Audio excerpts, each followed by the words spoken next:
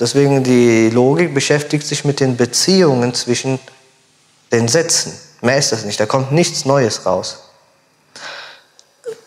Keine neue Information, kein neues Wissen.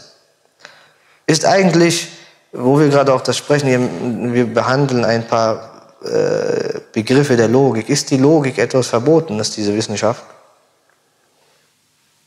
Sie wird ja als ein Teil der Philosophie betrachtet.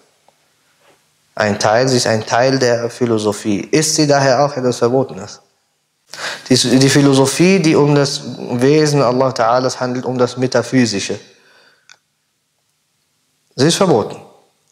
Die Philosophie, die um das Metaphysische handelt, also das, äh, was wir Al-Reib nennen.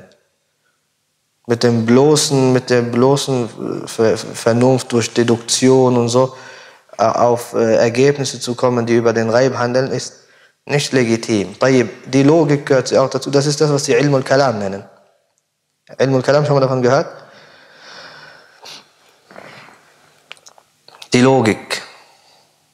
Warum ist die Logik legitim, wenn, wir, wenn sie ein Teil der Philosophie ist, aber die Philosophie an sich verboten ist? Al-Akhdari, ein Gelehrter, der ein Buch, ein Lehrgedicht geschrieben hat, Sullam al-Munawraq, ein Lehrgedicht, das handelt über die Logik. Darin sagt er, er spricht über das Urteil der Logik, er sagt,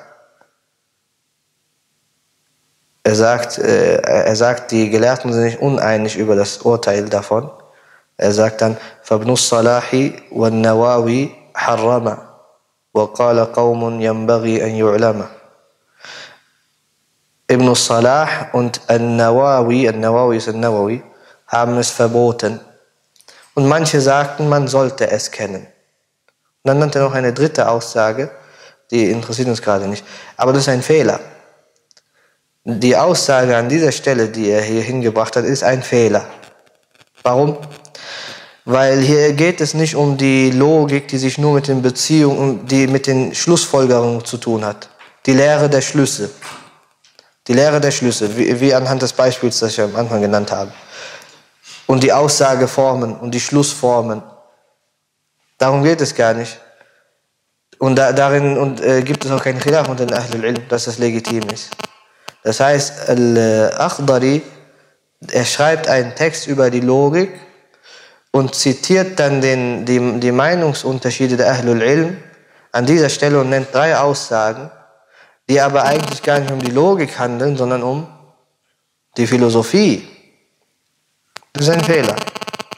Diese, die Lehre der, der, der, der, der Schlüsse, diese Syllogistik, die ein Teil der Philosophie ist, ist nicht verboten. Und die braucht man auch, als ein, wenn du dich mit den Islamwissenschaften beschäftigst, führt kein Weg dran vorbei, die zu lernen. Selbst wenn du die arabische Sprache lernen willst, die Grammatik, musst du etwas in der Logik lernen. Wenn du den Sarf lernen willst, die Rhetorik der arabischen Sprache, du musst die Logik lernen. Warum? Weil sie Fachbegriffe der Logik überall eingebaut haben sind überall eingeflossen, in alle Wissenschaften. Und dann hast du ein Problem, wenn du diese Bücher liest und du hast nichts in der Logik studierst, du wirst vieles nicht verstehen.